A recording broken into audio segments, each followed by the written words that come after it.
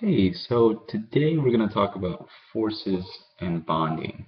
So we have two distinct forces that deal with chemistry. We have intermolecular forces and we have intramolecular forces. So to understand the effect of this, um, we, we need to first differentiate between intra and inter. Let's take, for example, water, or H2O, right? We have an O, H, O, H, OH, OH. So this is what we have so far. Hope you can see that. Pretty easy, right? Okay. So in regards to um, intermolecular forces, we it's pretty you know it's inter means between.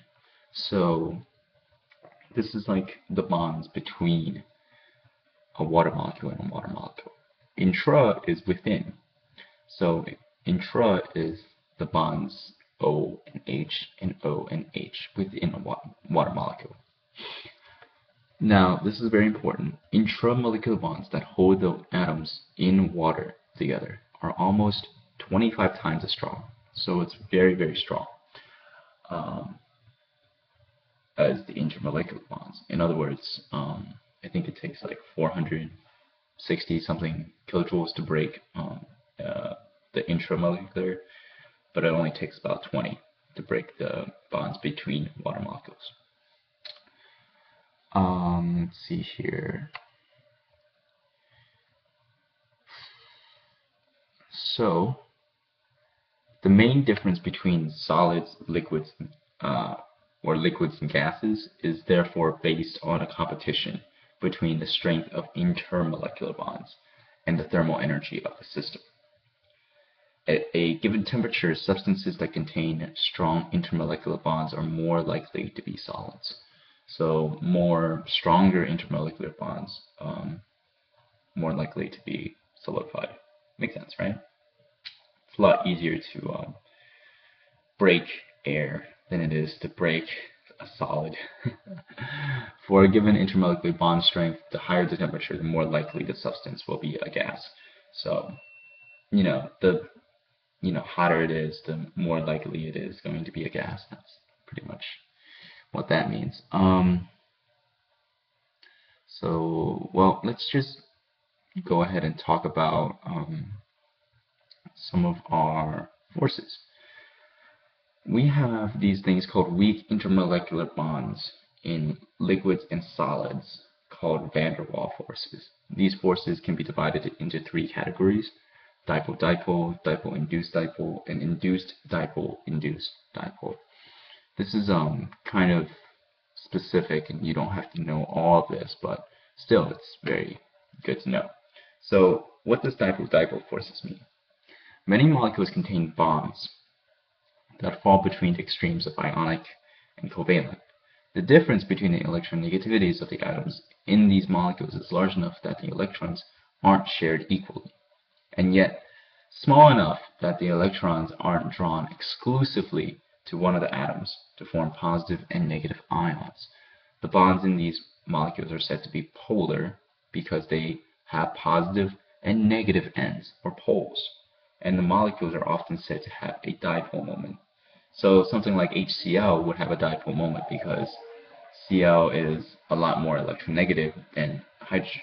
The difference between them is, I believe, like a 1.2 or something like that. Um, 1.2 or 1.3 off the top of my head. So it's a very polar molecule. The dipole-dipole interaction in HCl is relatively weak, only 3.3 kilojoules per mole. The covalent bonds between hydrogen and chlorine atoms in HCl is 130 times stronger. So, like before, I've, I've noted that the intramolecular is a lot stronger. The HCl, that actual bond of HCl, is a lot stronger than the intermolecular bonds, like dipole-dipole interaction. So I hope you guys kind of understand that. The force of attraction between HCl molecules is so small that hydrogen chloride boils at negative 85 Celsius. And remember, in regards to intermolecular forces, um, the only thing that you really need to worry about is hydrogen bonding because hydrogen bonding with FON, FON, that's going to be really the difference maker in a lot of these cases of um, whether or not it's going to be strong or not. Let's take a look at dipole-induced dipole. So dipole-induced dipole is kind of like what would what would happen if we mix like HCl with argon, which has no dipole moment. The electrons on an argon argon atom are distributed uh, like are relatively distributed around the um, nucleus of the atom because, well, it's a noble gas. So, but these electrons are in constant motion. So I don't want you guys to think that, like, you know, just because it's noble gas, it just sits there. But when an argon atom comes relatively close to a polar HCl molecule, the electrons can actually shift to one side of the nucleus to produce a very small dipole moment that lasts only for an instant. So Likewise, the um, intermolecular bonds of this is very, very, very, very weak. By distorting the distribution of electrons around the argon atom, the polar HCl induces a small dipole moment on this atom, which creates a weak dipole-induced dipole force attraction between the HCl molecule and the argon atom.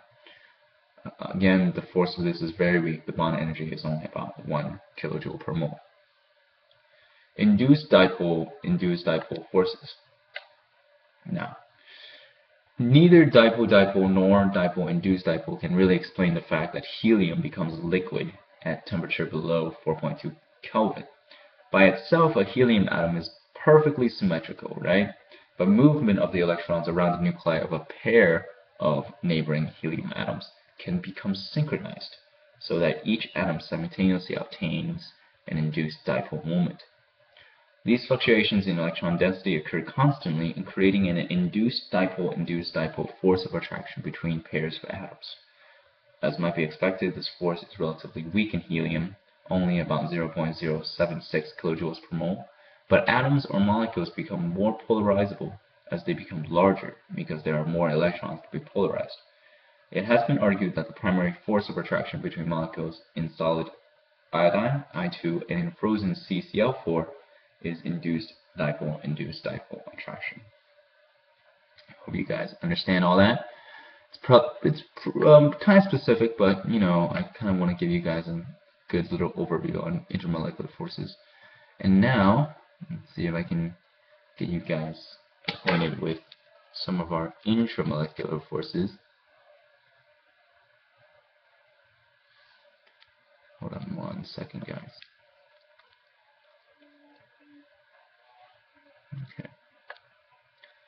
So with regards to intramolecular forces, this is stuff that you guys have been talking about all year. Um, ionic bond, a bond between which two ions are formed from the transfer of electrons from one to another. The bond is held together by the force of attraction from the opposite charges of the ions formed. So in other words, NaCl becomes Na plus and Cl minus. Another one would be covalent bonding. Covalent bonding is due to a sharing of electrons. Uh, covalent compounds cannot dissociate when they dissolve in water. This makes them poor conductors of electricity, unlike ionic. So, I think that's about as specific as she'll get. Um, polar versus nonpolar bonds, stuff like that, you guys should be able to understand. Um, now, I know there was a problem on here that you you said that um Jennifer that you did not understand the pi bonds or something like S and P and D and F stuff like that. In regards to um actually I'm about out of time on this one, but let me let me start a new video and then I will talk about the the sigma and the pi and D and F and stuff like that, okay?